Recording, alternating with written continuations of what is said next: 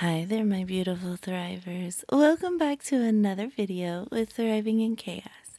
If you're new here, welcome. You've just clicked on one of my WTF Wednesday videos, which stands for Weekly Tracking of Finances, in which we go over the past week of my online expenses and we will replace that money with the cash in my cash envelopes that we've managed to save just for those purposes.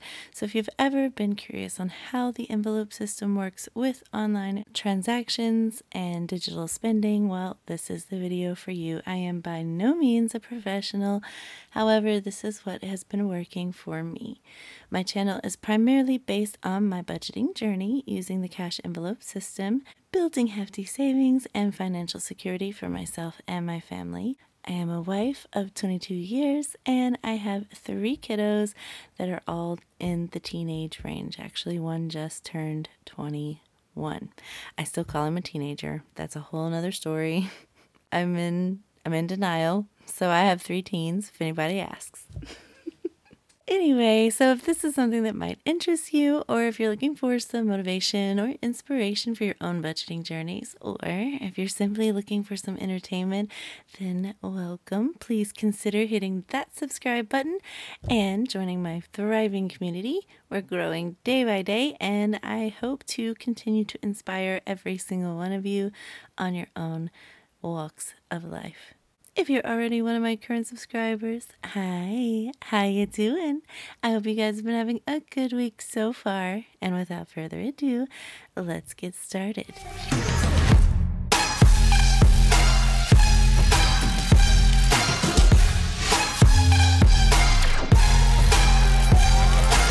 So, like every WTF Wednesday video that I do, I need the star of my show my expense tracker. So we've got November's expense tracker. This time it's all dolled up and ready to go. We're going to be working with the week of the 3rd through the 9th. If you've never watched one of these videos, this is how I track my expenses online expenses only, so this doesn't include cash sales or anything like that.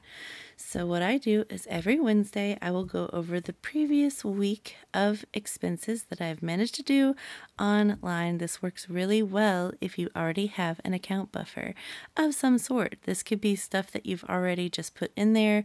Say your one of your envelopes built up to $1,000 and you're using a prop note in that envelope and you have now $1,000 sitting there, that could be considered as a buffer as long as you make sure to replace that money after you use it. However, I do have an account buffer specifically for account buffering. So I spend money and then I replace the money every Wednesday so that I don't just spend money I didn't plan for. Does that make sense? And I also will be using stars. You don't see any on this page yet, but we might have some this week. But um, I use stars to congratulate myself for no spending, you know, and I make a goal for myself at the beginning of each month of how many no spend days I can get away with. This month's goal, as usual, is 12. I'm very nervous to ever bump that up above 12, especially towards this time of year when we're buying a lot of Christmas stuff. So, Anyway, I hope that that makes sense. If you have any questions, feel free to put them in the comments below and I'll do my best to answer them. But we're just going to go ahead and get started with tracking my online expenses. Starting with the third, nothing. We spent absolutely nothing. And by we, I mean me because my kids did spend stuff. And when they spend, they give me their cash and I put it right into my back to the bank. We've got this whole little system going, which is great. One day I will give them their own bank accounts, but for now they're using mine and then they just pay me their cash and I put it in my back to the bank. The system is working, it's fine, but I don't track their expenses. So for me and my hubby, we did not spend any money that day. So I got a star to congratulate myself. First of the month, yay! And then on the 4th, can't be said the same thing. I did make some purchases. So I'm going to start with this. I'm going to say JB Day because I do not want to disclose where I bought it or he might know. So that was a total of $47.71. And then also on the same day, we had a gas station. I don't know about you guys. Is gas like crazy where you are? It is getting insane. Absolutely insane. This was for 72.75. I don't know what is going on, but something needs to change because otherwise my husband's going to have to start driving my car just to save on gas. He's already spending over $250 every 2 weeks. This is getting ridiculous. All right, so with that being said, that is everything on the 4th, and we're going to go ahead and move on to the 5th. I did have a Christmas purchase, not going to say what. I'm getting so excited for Christmas, guys. So excited. And I'm like so happy to be able to get all of my Christmas done like earlier rather than later. And then I did have a Publix purchase. Now, I'm going to have to do something I have never done before, ever, in the history of this budgeting journey. That's 83, by the way. I don't know if you can tell. I've never done this and I'm really like hesitant to do it, but I don't really have a choice. So I'll explain what I mean after this. All right, so the first star, I mean, the second star is going to be on the 6th, and then we have another star on the 7th. So we did not, ugh, these stars. I tell you what, when you first get nails put on and it's so awkward and you're like, how do I do stuff with them? And then you get used to wearing nails and then you take your nails off so you can let your nails breathe for a hot minute. Then you act like you don't know what you're doing with your life. I feel incompetent. All right, so let's move on. On the 8th, I did have some dining out purchases, and rather than just write this all in three separate transactions, I'm going to add them up and just write it in one. Will save me some writing space here. That's $53.99 at one place, $9.62 at one place, and $87.26. so that's 150 87 in total I'll just write dining out. We went out an extra time. I know. Tell me about it. And then we couldn't decide. We couldn't agree on where all to eat. So we ended up going to three different places. I, don't even want to talk about it. It's ridiculous. But we spoiled ourselves. No idea where this is going to come from. But we're going to figure it out together. All right, and then also on the 8th, I did do a Sam's Club. And when I say I did, I'm saying my husband. But we are a unit, so therefore me too. All right, so Sam's Club, that's going to have to come out of groceries as well. And then that'll be it for the 8th. And then on the 9th, we did have one purchase for Christmas. I'm getting my Christmas done. I'm loving it. For 44.07. Oh, I missed a Christmas. There was two Christmas purchases. I'm glad I looked this over. This one was for 119 13. Okay, there's two different places. So Christmas is being handled, guys. All right, so that's it. We've got us three stars starting off well for November to reach that goal. I love that. Now, what I like to do is I like to plug all of these into my tracker here. I've been doing this for several weeks now, and it is just helping me categorize everything and make sure that I get everything accounted for. So, I'm going to go ahead and write these out really quickly. I will speed this up for you, of course. So enjoy watching that part, and then we'll come back and we will start the process of unstuffing some of these envelopes.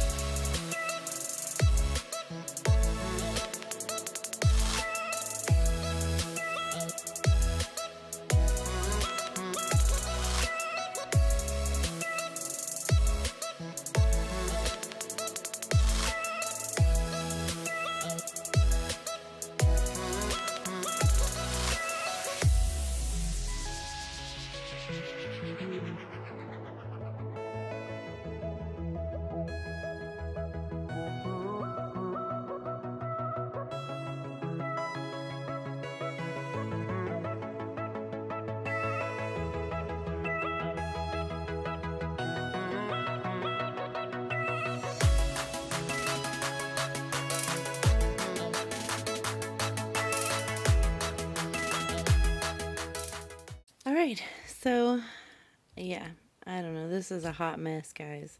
I don't even know where dining is going to come out of. We're going to have to take it out of some random envelopes. This is going to be fun. All right, so let's start with groceries since that is in revolving fund binder.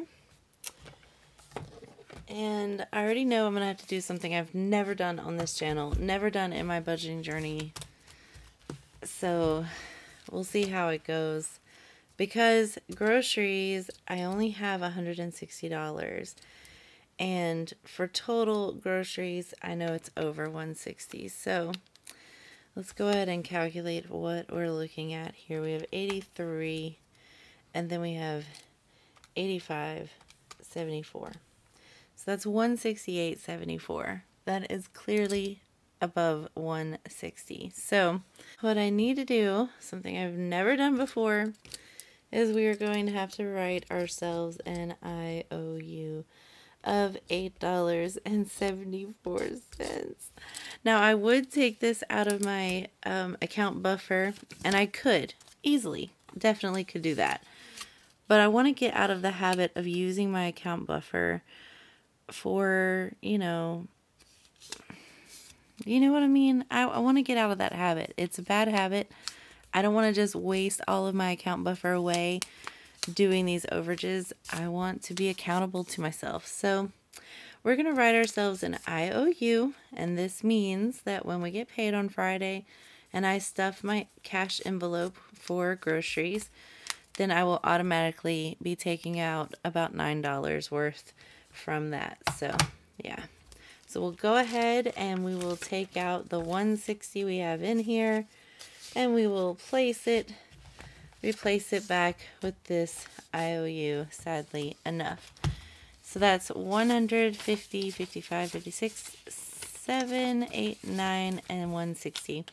Now, if you don't know why I'm using prop bills, it's because I keep all of my grocery money online. Everything else I use real cash with, other than, you know, like when I reach milestones like 500 or $1,000. But for groceries, it's always going to be in prop bills just because I do most of my grocery shopping online. So it just doesn't make sense to pull cash out, to stuff it in here, and then go redeposit it so that I can um, spend it. And this just helps me to track it. So that's why it's prop bills. So now that money was already in the account, but now I can just remove this and reflect what we really have, which is negative $8.74.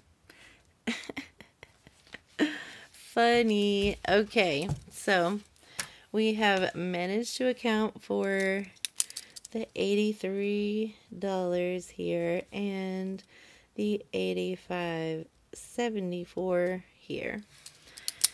All right. Dining out. I don't even know. I don't even know. We're going to have to look for some envelopes that we can pull this from. And I'm not going to take it from my revolving. I can already tell you that. So let's look through my short term and look through some of the envelopes we have going on in here see if there's something we can pull from to kind of take care of that. Um, yeah, so let's start. I don't want to take from here. Home is a possibility. We are looking for $150. I think I can take clothes. Let's do clothing. Let's do one 20, 40, 60, 80, 90, 100, 10, 20, 25, 30, and 31. We'll do 131. And that leaves four whole dollars in my clothing. And it's fine, you know, I, I didn't have any real plans to buy any clothing anytime soon. It was for the eventual thing. So we now have $4. Oops. We now have $4 in our clothing. At least we had the money. So, um, so that's 130. Let's count this. 20, 40, 60, 80, 90, 100, 10, 20, 25, 30, 131.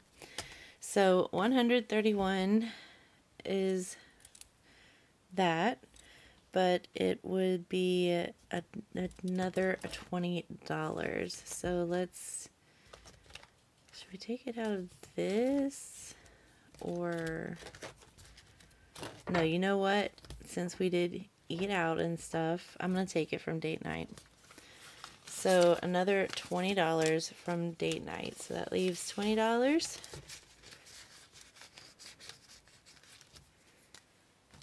minus 20, that leaves 20, and it is the 10th. Okay. So now we have accounted for that full one, 150, 151, 20, 40, 60, 80, 100, 10, 20, 30, 40, 45, 51. So 151 accounted for. Makes me sad. But, you know, is what it is. So we took this from clothing and day night. Ah, will. this is what happens. This is, at least this gives you incentive to not do unexpected spending for once. Unless you want to have to take it out of other places. All right. So that takes care of that. Then we've got Christmas, Christmas, car maintenance. We'll take this for the gas. It is what it is. And I don't know what we're going to do. Do I have car maintenance in here? I think that I do. Yes. Okay. So car maintenance, we're going to be taking 73. And I know already I'm going to have to make some change. So I'm going to break up one of these 100s using my, I know I have 250s in here in my home reno. So we'll take those 250s, put the 100 in here, just so we can make some change. So now we have change, and we're going to be taking 73. So 50, let's take that one. 70, 1, 2, and 3. Perfect. So that leaves $160 in car maintenance.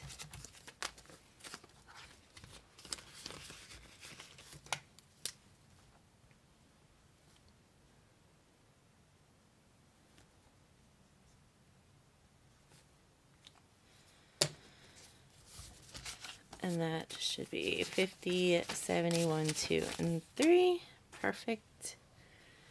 Okay, so we've managed to get that. Now, Christmas and J birthday. Christmas will be in long term.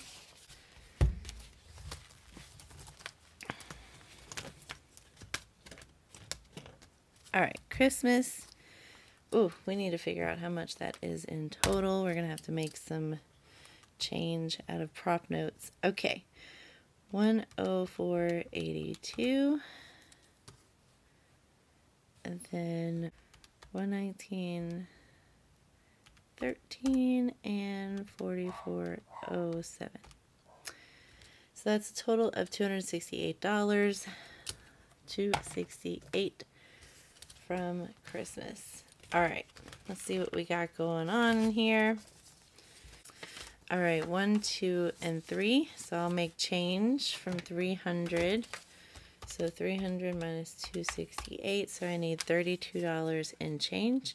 So I'll take this out and and now we have $32. I never got to use the $2 bills. This perfect opportunity. so 20, 32, and that is what's left there. So 1,000, 100, 200, 300, 400, 500, 600, 20, 30, 32, 33. So $1,633.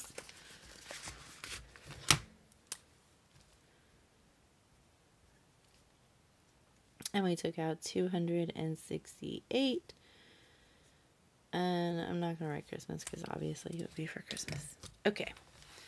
So we handled that. We did the 104.82 and the 119.13 and the 44.07.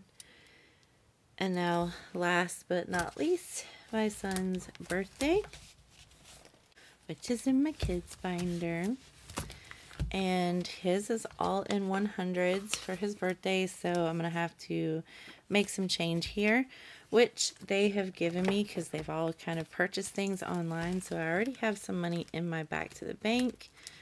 So let's see if we can make some change from that. So his gift was $48 right? And then 100 minus 48 that's 52 as some change. So 10, 20, 30, 40, 45, 50. We'll do 55. It's fine. All right, so we'll put 100 into my back to the bank.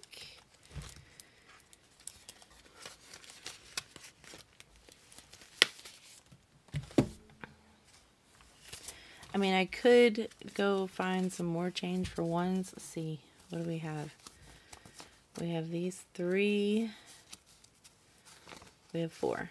well, this is all going back to the bank anyway. So if I put this five here and I give myself, let's see, one, two, right? That covers the 73. Okay, we got it. So for change, we have 10, 20, 30, 40, 45, 50, 51, 52, which is perfect. And then adding that to his 400, so he has 452 left for his birthday, which is this upcoming weekend.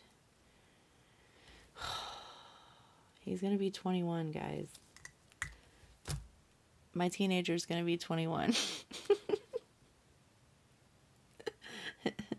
Don't come for me. He's still a teenager. what do we say? Look, I'm so okay. For it was 40 48 we'll say. Okay. okay, all right. I'm I'm getting sidetracked here. I apologize. All right, let's get to the nitty-gritty. All right, so we have accounted for that so we've counted for everything that's good. We have managed to take nothing from our account buffer. From groceries, we took out the full 160 that we had left. So now we have a negative $8 and what did we say? $8 and 74 cents. negative. All right, then Christmas, let's see, we took out a total, I should have wrote this down when we calculated it up, but it is okay.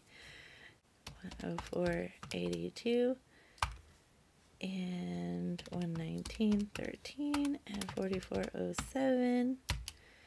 So we took out 268. $268 and then we said left was let's just look at it. 1633 we're getting there guys. Now let's count this up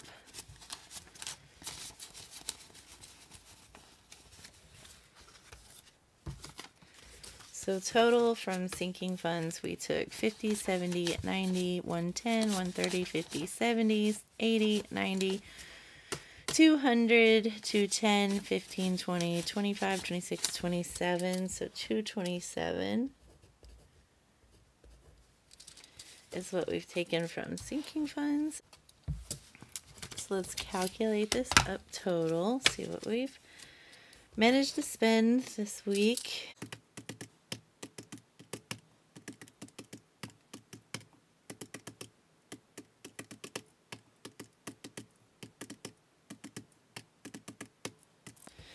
$708.09. Okay. So, total spent this week 708 and 9 cents. Let's see if we've managed to cover all of that. We took 160 from our grocery buffer.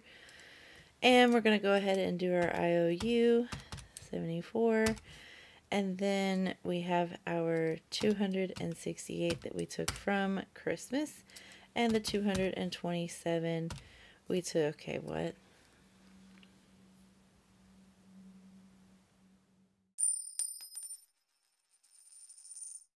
Okay, guys, I figured it out. so, when I was doing my exchange with my son's birthday, I put his 100 in my back to the bank here because I use that as the change. So, 45 uh, of that 47, sorry, 47 of that is supposed to go towards this, but it's all inside of here. So, keeping that in mind, adding that in um, here, this should be 272. So that's why all that cash wasn't here is because I had put it over there. Whew, I was freaking. I was freaking out, guys. You just don't even know. I had to pause.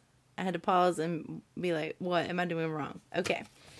It happens, you know, it happens. It is what it is.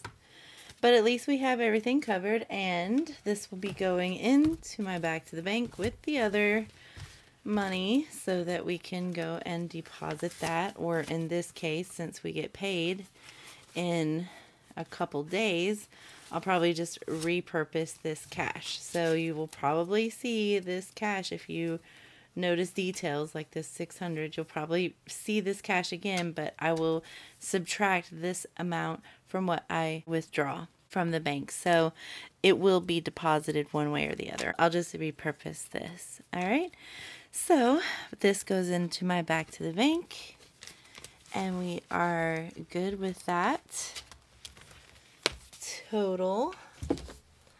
And that means that we have spent for our purple week $708, which is pretty good. I will be very honest, I am not doing good with the groceries. I need to make a plan to do my grocery shopping more regularly and do full bulk grocery shopping like I normally do because I'm running into the situation where we're going back and back or ordering online several times and it's like eating up the money more somehow. Whereas if I pre-plan meals and everything, then I I don't know. I have no idea. If you guys know, then you know. But anyway, so we did pretty good. We had um, one want. We did have some Christmas and birthday purchases, so that's fine. But most of it was needs, and that's what's a, that's what I'd like to see anyway. All right. So we are all done. I appreciate you guys for watching, and I hope that you enjoyed it. I mean, this is me doing this just to keep myself and my family accountable to the purchases that we make and making sure that we are returning that money back to our bank and that we're not just blowing our money on frivolous things. And this is very needed for me. So if you're here and you're watching and you're not subscribed, go ahead, hit that subscribe button. And if you're here and you're subscribed, thank you for watching with me. I am just doing this to keep my family on a budget. So I hope you guys enjoyed it. I will see you in the next video, which will be on Friday, our cash stuffing of our very first paycheck of November. I will see you guys there. And as always, until next time, bye.